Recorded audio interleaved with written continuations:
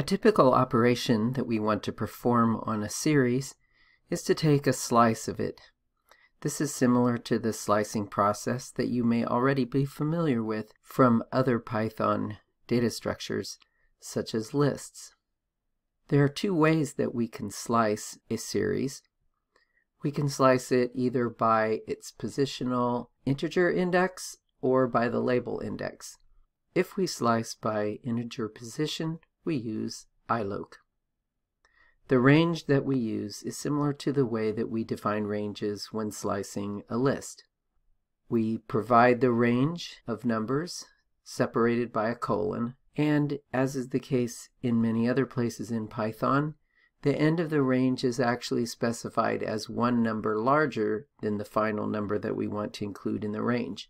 So if we want items 1 through 3, we have to specify the range of 1 through 4. When we complete this slicing operation, we get another series that includes both the values of the slice and also the labels that go along with them.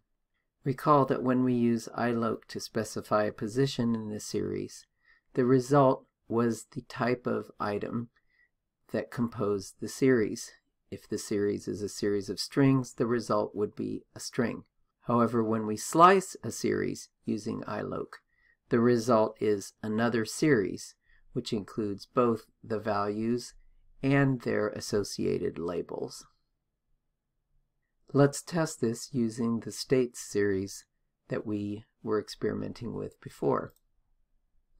Here's the entire series, and here is the slice done with iloc using the range 1 colon 4 which produces items 1 through 3.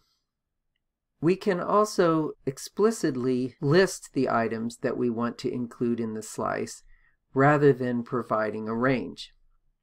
We can do this by passing in the integer indices as part of a list. Here is the list containing the items 1, 3, and 0. That is put inside the square brackets. Sometimes people don't put a space between the two sets of square brackets, which looks a bit odd to just have two square brackets on each side. But the inner set of square brackets is for defining the list, and the outer goes with iloc itself. So this is item number one, item number three, and item number zero.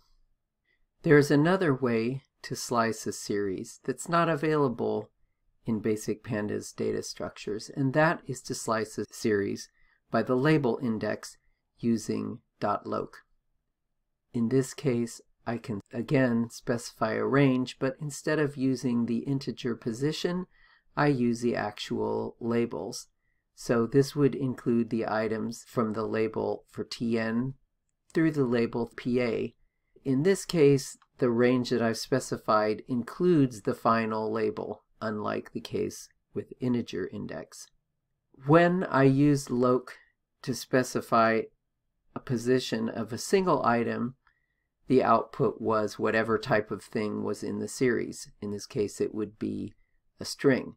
However, if I'm slicing using loc and putting in a range of label indices, then the output that I get, again, is another series which includes the values and their associated labels. Let's try that with our state series. Here I see that I have gotten the labels Tennessee through Pennsylvania inclusive. As was the case by slicing by integer index, I can also specify the particular items in the series that I want by enumerating their labels. So in this case, if I say I want Tennessee, Alaska, and Ohio, I can just put in their label indices.